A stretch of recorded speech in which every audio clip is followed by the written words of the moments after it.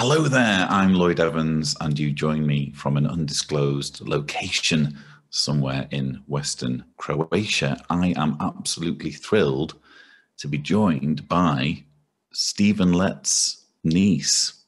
Is that right? Yes, that's correct. so, when you approached me, I think that's actually how you described yourself in the subjects, and I was never not going to open that email. Uh, um, but I'm right in saying that you didn't approach me lightly. It wasn't something where you were just kind of milking the fact that you have this uh, this very powerful person in your family. There's a serious story that we're going to get into, and as I understand it, you're paying a price for going public with this story.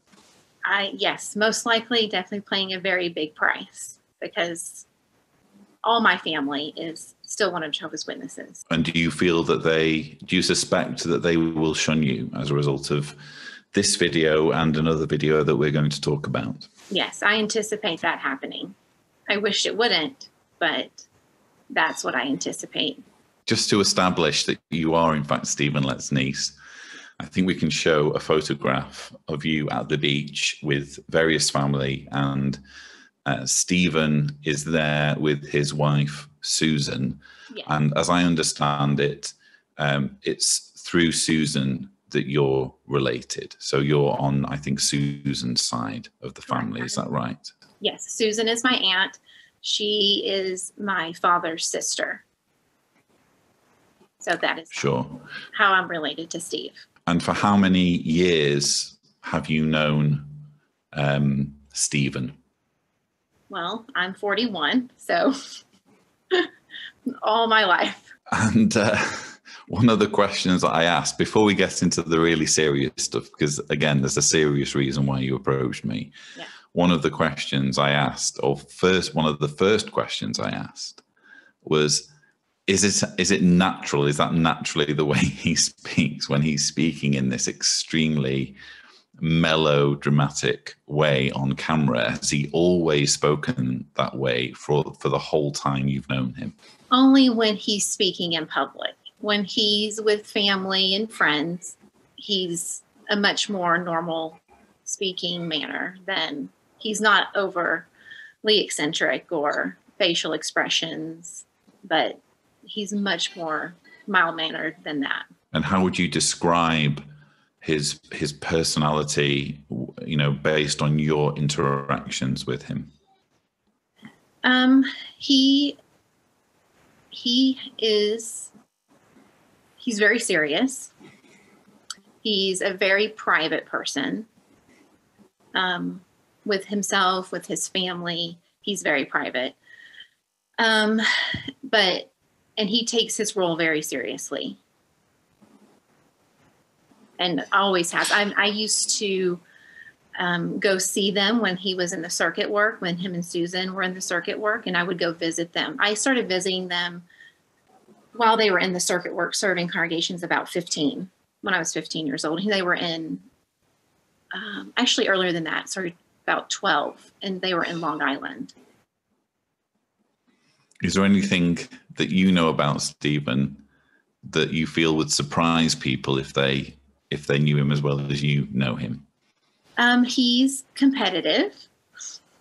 I don't know if that's a surprise or not. Um, he, I'm trying to think. It's it's one of those things to think, have to think back and um, think what people may know about him and what people may not know about him. Um, he likes to play dominoes. Okay. um, Less of a chess man, more of a dominoes man. Okay. More of a dominoes man. okay. um, but that picture that you are showing that I'm in with him is actually when my husband proposed.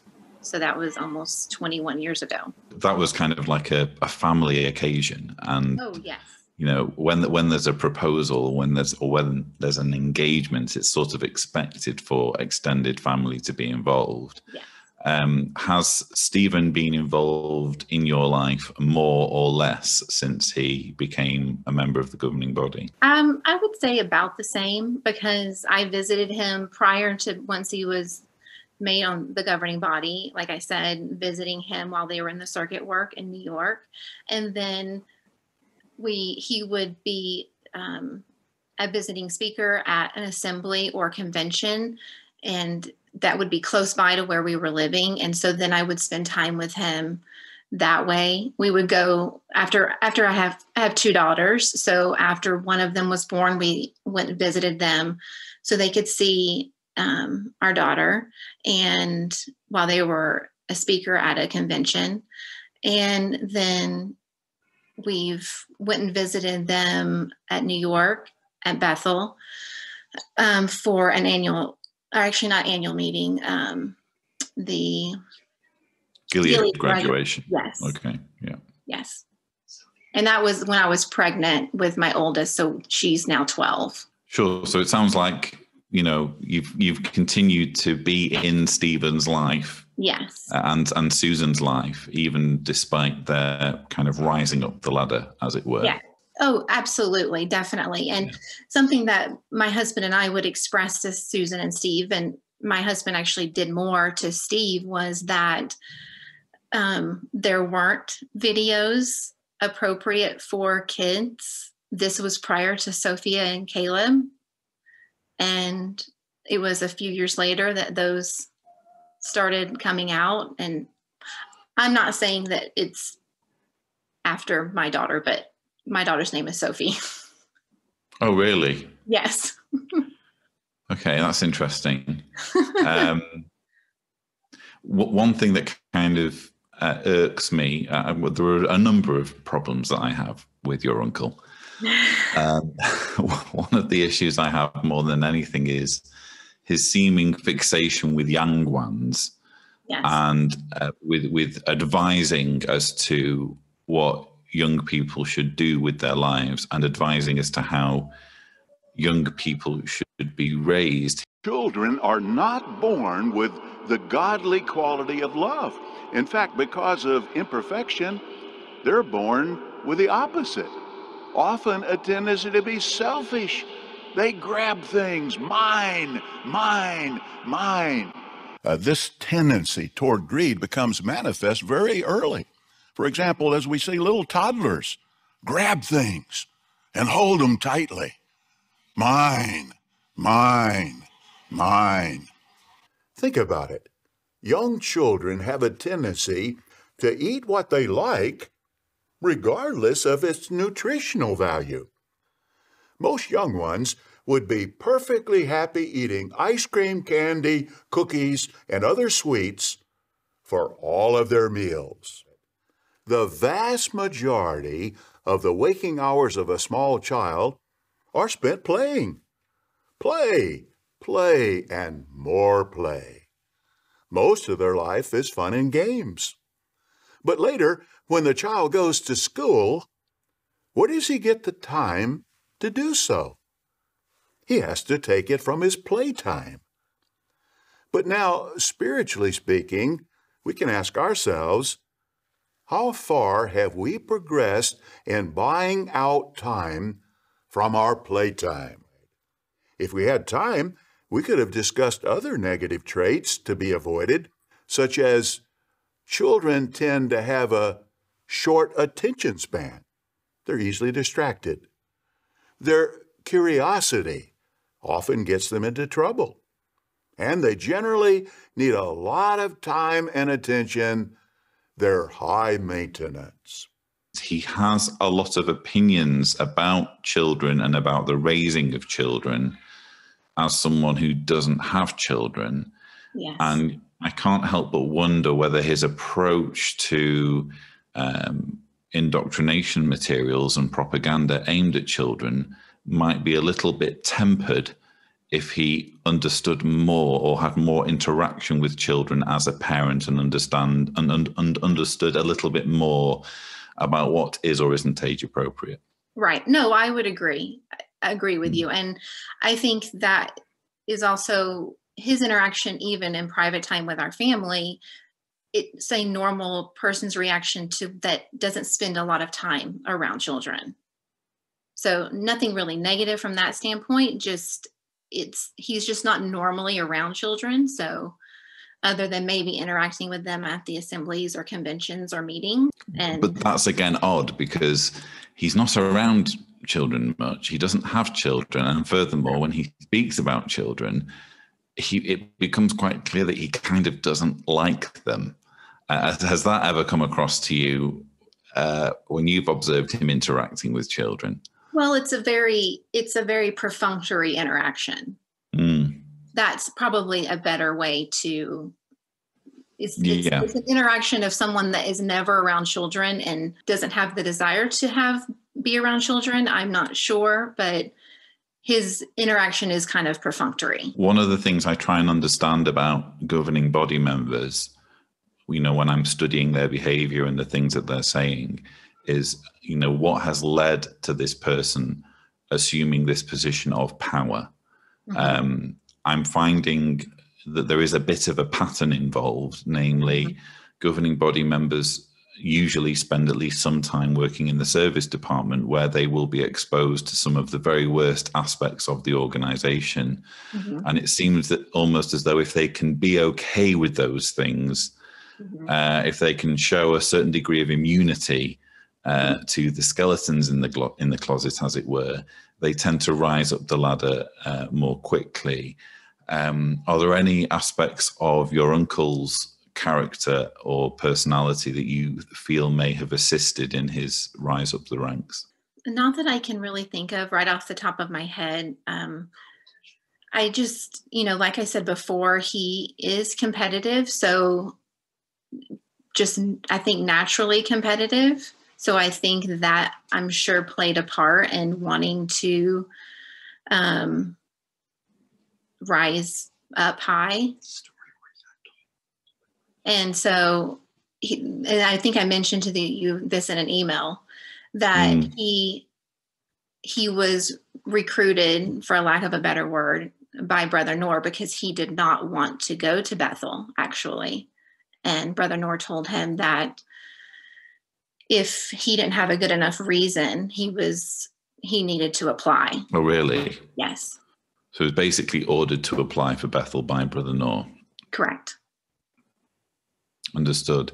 He was because Brother Knorr was there visiting the family. Yeah, it's it's just fascinating to think. Uh, and do you know much about the other side, the other side of the family? In other words, Stephen's side of the family. I know he's he has a brother named Tim who he's been involved with real estate transactions with. Do you know anything about that, or is that side of the family off off your radar, as it were? I know very little, not enough to speak on with mm. accuracy. I I do know that they yes they have been on real estate deals together. Um, I know he's close with his brother, um, and his brother lives close to where my family, part of my family, lives in southern Alabama. So I have seen them. I've been around him. I've been. I was around his mother when she was uh, alive. So, okay. but I'm not. I've not been around them enough to give an opinion. Sure. I'm not asking for any opinions on things that you don't know anything about. I'm just. Yeah. I'm.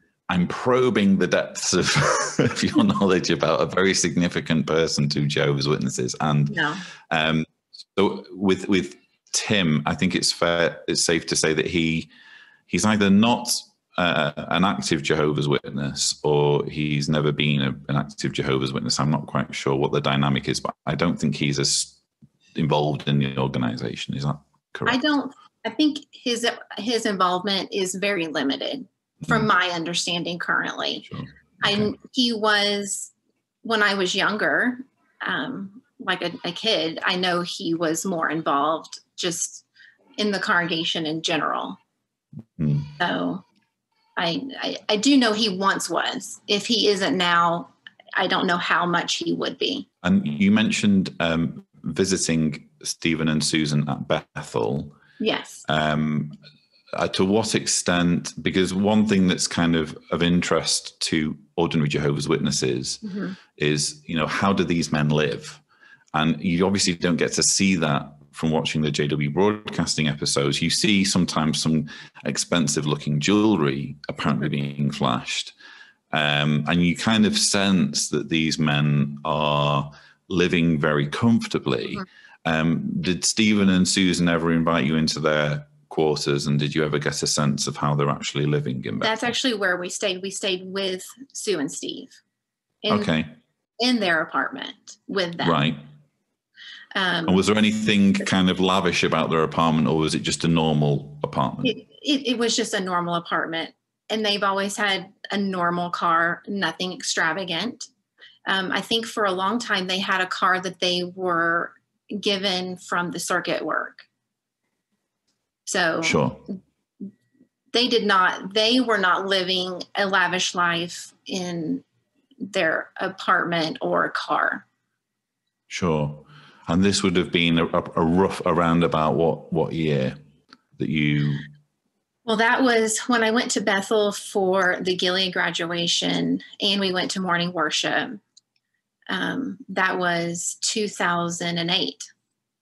Sure. Okay. That was the last time I was visiting them in New York. So sure. before Warwick. Yeah. I, again, this is just helpful to, to paint a picture. I mean, we don't know what the situation is now, right. but it's helpful for us to know that at least as of 2008, um, a governing body member who, after all, has taken a vow of poverty, mm-hmm. um, wasn't living a lavish lifestyle. I'm, I'm all about the facts here. I don't want no, to. No, I appreciate that. I, I, do. I do know that his yeah. apartment in Warwick has his office. Um, mm-hmm either in his apartment, it's right next door. So it's, but other than that, I don't know anything about their current apartment. Now, having gotten all of that out of the way, yeah. I, am sure there are many, many questions that people would want to ask the niece of Stephen Lett, but hopefully right. I've I've I've gotten through at least some of the main ones. Yes. Um, I think we need to talk about your brother. Yes. Um, and this is obviously a story that Stephen won't want people to hear, um, but it's directly relevant, especially in light of some of the comments that Stephen made um, at the 2020 Always Rejoice convention. There will be many others who will come back who will have to abandon their former way of life. I was thinking, as an example, a homosexual. Now, this former homosexual comes back in the resurrection and he really thought, and he, he was taught, and he came to believe that God accepted him with that lifestyle. But now he's going to learn about Jehovah's moral standards. And he's going to learn that Jehovah will not lower his standard to accommodate us. We have to come up to Jehovah's standard. Will he change? Will he adjust? It'll be up to him. But you, brothers and sisters, will help such ones to enjoy life eternal.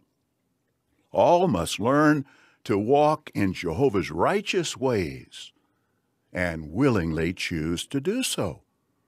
But now, what if someone refuses to make the necessary changes? Well, the Watchtower commented on that. It said, after being given ample time, maybe even a hundred years, to seek God, some will show that they refuse to practice righteousness justly, they will lose life in the new world. As we can see from Isaiah 65, verse 12, which says, And the sinner will be cursed, even though he is a hundred years of age. But we expect this will be the minority, that the majority will be delighted to make the adjustments so they can live in that wonderful new world. So, um, in your own words, uh, how would you describe that story? His convention part of the 2020 convention is actually what spurred me on to reach out to you because it was very upsetting for me. Because, so I have an eight year younger brother.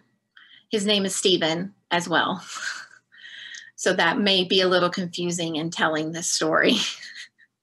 but my brother, January of 2020, committed suicide um, because he was gay and had been disfellowshipped um, about nine, ten years ago. And shunned or from all the family. So those words that he spoke at the convention very much upset me. and so I can imagine. Yeah. I Well, waited a couple months yeah. before I reached out to you on that after that was released. Sure. Um, no, uh, uh, sincere condolences. Um, it must have been very traumatizing for you to, well, it's traumatizing to lose any member, any close member of your family, but especially, you know, when it's someone taking their own lives and they have so much life ahead of them. Yes. Um, He it's extremely painful. Yeah. It is. It's extraordinarily painful. And in Stephen's own own words, he it was a source of why what led to him killing himself. So you're under no doubts that it was the repression of his homosexuality and the, the way he was dealt with by the religion that caused his suicide. Yes, it was there is no doubt in my mind because he wrote a letter and that was in it. So that is not me speculating, not even slightly. Um, never ashamed of being gay at all, but the he loved his family so much and he he really really enjoyed having his family and none of us were there. And for me for a period of time i wasn't and i was probably he and i were extraordinarily close. I mean closer than a typical brother and sister. We were just very very close. Because he was eight years younger i helped my mom t- take care of him and you know so we had this bond that just was quite unbreakable i think. And part of you know like i said for a while i i shunned him also. I did always make sure that he was okay. I would check on him periodically um, because when he first came out as being um, as came out gay then he tried several times to commit suicide. And he had named me his medical power of attorney. So i you know i it was a very difficult time because i had to make decisions for him when he was not able to. Um and then unfortunately it led at the time to disfellowshipping but and then obviously like i said a year ago unfortunately he did kill himself So, so this was January 2020. Um, Yeah. To the best of my knowledge, uh, Stephen Lett recorded his comments that we're referring to, I think, in the last week in April uh, Mhm. 2020. So we're talking, you know, a few weeks apart. yes Um, you're convinced, are you, that when Stephen was describing a hypothetical resurrected gay person, he had perhaps your brother in mind? I think it's very possible. I, yes, I think it's highly probable. It was kind of a. It came. It came from left field, didn't it? Um, It did. That's why I think it's probable. It, Sure. it didn't. It didn't fit for some reason. It just didn't seem to. Yes, it came from left field. And what impact do you think that Stephen Lett's words, where he was essentially saying, you know, when someone who's resurrected gay, they'd better get rid of that side of of who they are. Um, Makes no how- sense in my my in my head mm, because it's to me that's appalling because they're going to be resurrected and so from their viewpoint still gay and now they're having to make this whole decision over again and it's odd that God would resurrect them with Yeah, something that's that supposed to be an abomination. Yeah. correct that never Yeah. made sense to me because i'm like but Mm. you're being you're being resurrected and those were your you were being forgiven for your sins by death So now you're being resurrected to be still yet sinful. That just that logic didn't make sense in my brain personally. Hmm. I I know my family felt a little differently. They felt it was positive that yay, he will be resurrected. There's that potential of him, of him being resurrected. So you're obviously sharing your story now with quite some reluctance, and I understand you've made. Um, I think it's a is it a five minute or so video um, Yes. that will be released on the same day as this video, and there will be a link in the description if you want to go ahead and and check it out and share it far and wide. Please do that. Um, but you are you releasing this video um, and and sharing in this in, interview as like an act of vengeance to get one over no, on your uncle? no, absolutely not. I am like you said, I am reluctant because before, like you brought up, I do have a great deal to lose. Um, and my family are very dear to me also. I talk with them weekly. So I imagine that's about to stop. and that hurts my heart because I, it's not stopping from my end. I do not, I don't want to stop the communication or the association with my family because I care for them deeply. So if that does happen, that will be on their end, but not from mine. When Stephen died, I that was one of the first tipping points. I was already starting to fade before Stephen died, probably a good six to nine months, maybe a year prior to that. Um, but when he died, it was like another step forward of seeing things for the way they are. Um, as we were preparing for after Stephen did die, he left very clear instructions of what he wanted and what he did not want. And I think my family wanted it to still be a, be a part, be very religious still, and be part of Jehovah's Witnesses and have his um, memorial service with a talk. And he was very clear that he did not want that. And I wanted to honor that for him because I felt like we could do that where everyone could be happy, so to speak, and we could still honor my brother and what his wishes were at finally hopefully we could do that for him. Um, we we did eventually. We all came to agreement to just have a like a receptional service um, just of gathering of his friends and family but that was one tipping point for me to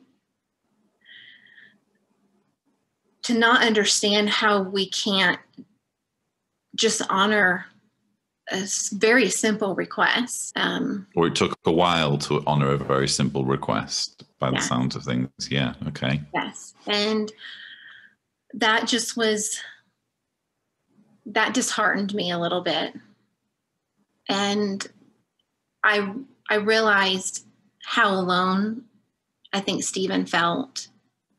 And i struggled for a long time because i was part of that feeling that he felt alone because i was part of that in the beginning of shunning him. And i had to deal with that guilt and responsibility. Um, it was about a year year and a half before that i started before stephen died that i started really having him back in my life and or him really allowing me back in his. Um, and he came out to see us and spent time with me and aaron and our girls. And he did actually also just a few days before he died as well. Um, but I just don't want I don't want people to they're going to go through that. I just want them to be able to see that there are there there are people out there that are probably going through the very same thing. And I want to see if we can find a way to have a community to support individuals that are being shunned, disfellowshipped for really whatever reason, but obviously for the gay community because that decision that he had to make, I can't, I honestly can't imagine what that was or how to have had to make that decision. I think you mentioned as well that um, there was um, a voicemail video on on my channel that you found quite moving. Yes. Um, from uh, someone who'd basically been in your sort of situation um, yes. and who who was distraught because her brother was being shunned due to being gay. Um, yes. And I think there were, there were other stories as well that made you realize that this is more than just what happened to Stephen. Yes. This is kind of happening in real time all around the world in various different families. Yes. And I, so I heard her voicemail on your channel and I just, I felt such compassion for her and I that's what I want. I want people like her, like her brother, like her family to to know that they're not alone. And I'm not sure quite how to develop that community yet. I'm hoping I can figure that out here very quickly. there needs to be support because when you lose when you lose your entire friend and family that you grew up knowing and that's all you knew and to lose all of it it it just doesn't seem loving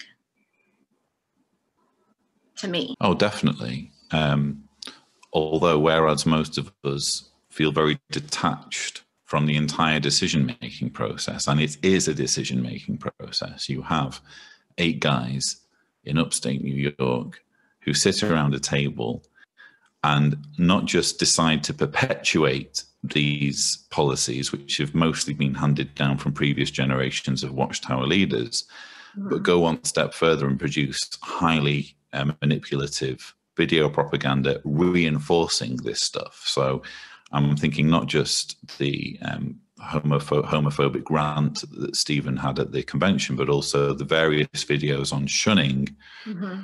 You know, your uncle's involved in this um, how does that make you feel?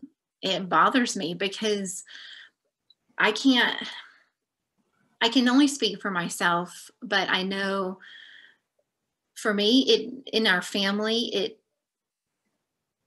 what he says, you know, people it reflects on when I was within the organization, and I'm sure with my parents or my father rather, and my aunts and my grandparents, it reflects on us because when he was made a governing body member, I remember I, ha- I was at a meeting and unexpectedly a brother calls on me and asks me to talk about Steve and my knowledge of his life. And and so it there's a not I don't want to say a pressure, but there is a over like an umbrella that as a family member that you're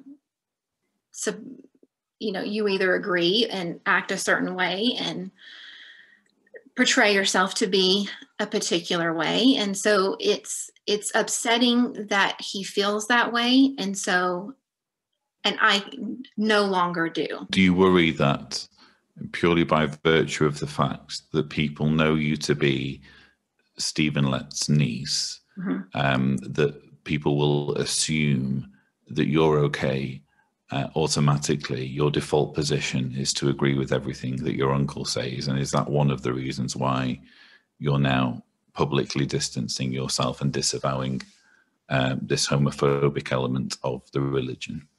Yes, I would say that yes, there is a definite association with anyone that knows me. I am, I have an uncle that's and he is Steve Lett. There is definitely an association. It's always been that way. I would a lot of times not bring it up, but it would get around very quickly in the congregation. So if I'm visiting a congregation or um, we were at an assembly, it would it would make its rounds very very quickly. So I think just naturally people since you are related there is a natural assumption that I think you would. Uh, but you're proud of conduct, him. so to speak, huh? Yeah, that you're perhaps proud of your uncle and in agreement with everything he says and does. Right. Yes.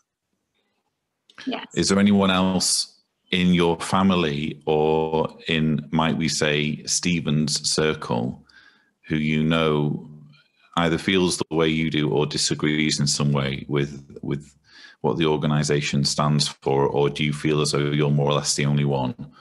Um, I feel like right now I'm the only one. Right. Okay. Well, that's going to my knowledge. Ease, that's going to ease the minds of um, the Watchtower lawyers who are watching this. Uh, they can call off the witch hunt because it's just it's just you. It's um, just me. uh, wow. Well, you, you, know, you've you've shared a lot there. Um, it's one of the one of these situations where there's so many things I could ask, uh, but hopefully I've covered the main points. Is there anything else that you kind of wanted to say, either to Stephen Lett or to any others, uh, perhaps your family members who might be watching this video? I think, first of all, that I did not make this decision lightly. This is my sole decision to do this. This is no one influencing me, no one guiding me, or anything to that nature. Um, but it is a decision that's weighed very heavy on me to come out with a story because I could have very easily stayed quiet and it would have been much easier on my family and myself. But to be able to hopefully reach other people is what my intentions are that I want them to know that they're not alone and that there are many people out there that are going through it and that we will develop a support system. it's admirable that you're you're looking to help people. Um, you know, as someone who, you know, you've lost a lot yourself. You're still dealing, I'm sure, with many of these feelings of of loss, yes. and yet you're you're still you're anxious to, you know, reach out and help others. And I very much admire you for doing that, and I think that's a, a major part of of this. Um, but it is also useful to have some context yes. to this individual who claims to be one eighth of the faithful slave, the channel of communication between you know God and mankind. Yes. Um, this is an individual who spouts hatred towards gay people and arranges for gay people to be ostracized even though his own nephew committed suicide because of precisely these policies and that sort of treatment. And that's context that I think everyone needs to, to know about the next time he goes on this sort of rant or the next time his organization produces material that puts gay people in these impossible situations. Yeah, yes. And to somehow, in creating the policy, to be able to put that wedge between a parent and a child, and for the parent to be able to feel that it's okay because they are doing what they think is correct and loving that is that that is hurtful because I have children. And I don't think I could have, I don't think I can do that. Well, it's impossible when you've actually had children. Yes. Uh, to imagine ever wanting to uh, treat them as though they're dead Yes. um, purely over an ideological difference or because they don't quite have your sexuality. Um, right. That they're a non-person. Yeah. It, But this is again policies that your uncle is instrumental in not Yes. just perpetuating, but quite enthusiastically promoting. yes, and it's very upsetting and and it's hurtful Okay. because we see where it can lead. And Stephen knows where it can lead. he Yes, has he does first hand know. knowledge. Yeah. Yes, he does. Well, all, all that remains, uh, Brandy, is to thank you sincerely for sharing this. I think you're extremely brave. Um, I've been through the situation of speaking out on camera, knowing where it would lead. Uh, you are in for something of a storm as a result of, of doing this, and it will be difficult, it will be painful, but there is light at the other side, I can tell you. Um, and there is a lot to be gained from rebuilding afterwards um, a life where you're surrounded by people who love you unconditionally for who you are. And I think that uh, your brother would have wanted that for you because he certainly never had it himself, did he? Or at least not No. completely. Not no. Yes, I completely agree. Yeah. Well, thank you so much for joining me. Hopefully, we can get you back on the channel at some point. It would certainly be interesting to know what the backlash is. So maybe we can uh, pick up the pieces uh, later on at some point. But thank you so much for sharing what you've shared. Thank you. So, viewers, I hope you've enjoyed this conversation. I found it absolutely fascinating. Don't forget to subscribe to the Lloyd Evans channel for more such videos. And as always, thank you for watching.